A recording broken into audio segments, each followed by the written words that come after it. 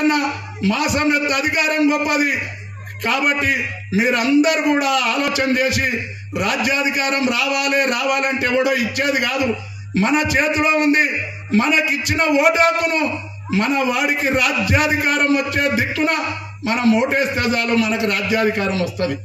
ఇలా సోదరులారా ఒక్క విషయం చెప్తా. Rangareddy Mahabubnagar Hyderabad.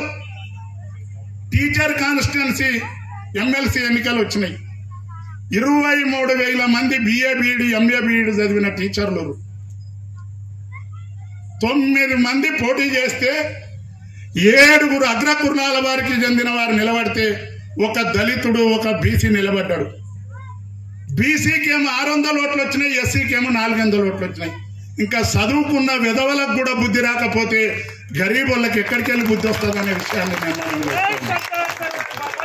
సోదరులారా మన ఓటును మనం ఆలోచన చేసి వేసినప్పుడే మనకు రాజ్యాధికారం వస్తుంది. స్వర్గీయ సాంబశివుడు చెప్పేది సోదరులారా ఒక దొంగతనానికి నలుగురు కలిసిపోయి అందులో ఒక అగ్రవర్ణాలకు చెందిన వ్యక్తి ఉంటే ఈ ముగ్గురిని కూడా దుంక పెడతాడు. తెచ్చినాక ఆ నోళ్ళు వస్తే పంచిస్తీలు కుప్పలెత్తుకొని వస్తారు. కాబట్టి బడుగు బలహీన వర్గాల వారు రాజ్యాధికారంతో పాటు దొంగతనానికి పోయిన పెద్ద దొంగలాగా ఉన్నప్పుడే మనకు రాజ్యాధికారం వస్తుందనే విషయాన్ని మనవి చేస్తూ నేను ఈ సర్వాయి పాపన్న స్ఫూర్తిని మన అందరం పుణికిపుచ్చుకోవాలి.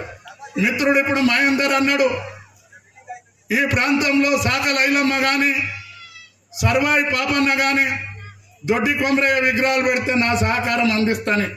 ఆ తమ్ముడిని మనసారా అభినందిస్తూ నేను ఇబ్రాహీంపట్నంలో రాష్ట్రంలోనే మొట్టమొదటిసారిగా ఆరు లక్షల రూపాయలతోటి తొమ్మిది ఫీట్ల కంచు విగ్రహాన్ని తెచ్చి పెట్టడం జరిగింది. దాని ప్రారంభోత్సవానికి రాష్ట్రంలో ఉన్న బడుగు బలహీన వర్గాల నాయకులను అందరినీ కూడా పిలిచి ఓపెనింగ్ చేస్తా. మన తాలూకాల ఈ ముగ్గురు విగ్రహాలు ఎక్కడ పెట్టినా ప్రతి విగ్రహానికి నా వంతుగా ఇరవై ఐదు వేల రూపాయలు ఏ గ్రామంలో పెట్టినా వచ్చి నేను ఇవ్వడానికి సిద్ధంగా ఉన్నా. విగ్రహాలు పెట్టి చేతులు దులుపుకుంటే కాదు రాబో ప్రతి ఎన్నికల్లో కూడా బడుగు బలహీన వర్గాలకు రాజ్యాధికారం దక్కే విధంగా మీరందరూ ఆలోచన చేయాలి. వస్తారు ఇవాళ రేపు నాయకులు చెప్తారు నేను దళితునింట్లో పోయి భోజనం చేస్తున్నా అని. ఓటర్లకి వెళ్ళి భోజనం వస్తుంది ఓటర్లకి వెళ్ళి నీళ్ళ డబ్బా వస్తుంది అవి తినొస్తాడు. నేను ఆ నాయకుడిని మనం చేస్తా ఉన్నా మా దళితులను తీసుకుపోయి